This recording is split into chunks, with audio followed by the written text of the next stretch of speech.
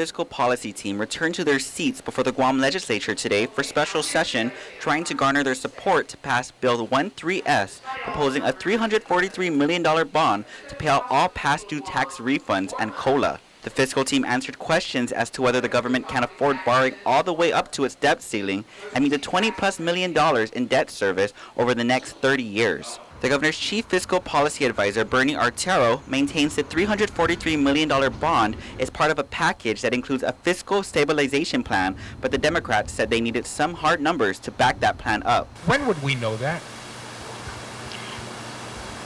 The affordability of the bond was, uh, was um, contingent on two, two uh, scenarios. One was um, you asked to see a 10-year projection, and so we did that, and it shows that we could maintain that.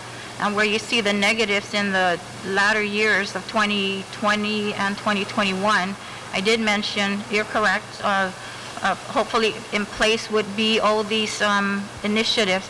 But the other option was just looking at the roll-off of the uh, debt service that uh, will expire or mature before the actual debt service begins for the bond. And what that uh, leaves us with is finding eight and a half million to afford the bond.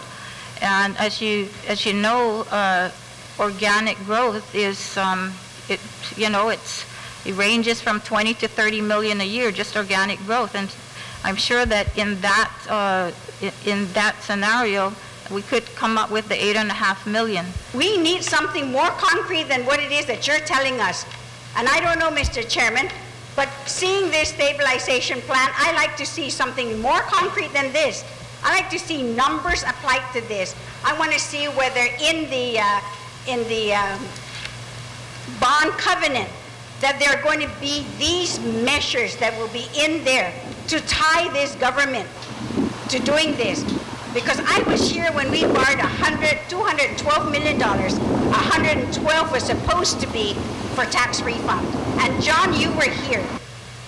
You were here and you told us, allow us to borrow this so we won't be down this road today. Well, we're down this road again two years later.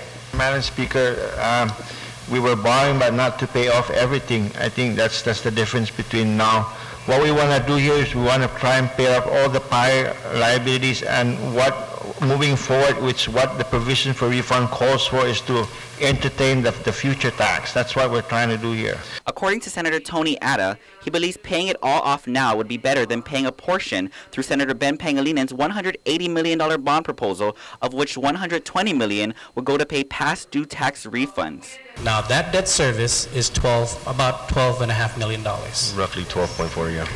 And that would only take care of a portion of what is Past due. past due.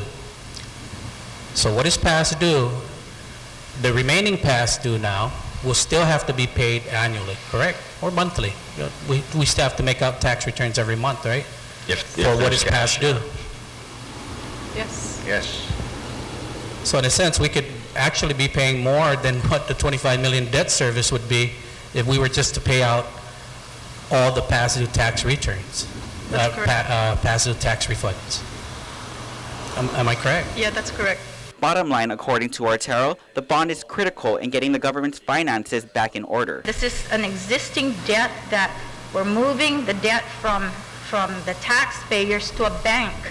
And now to consider that it's, it's, well, let's just continue owing the taxpayers, I don't think that's, uh, that's correct either.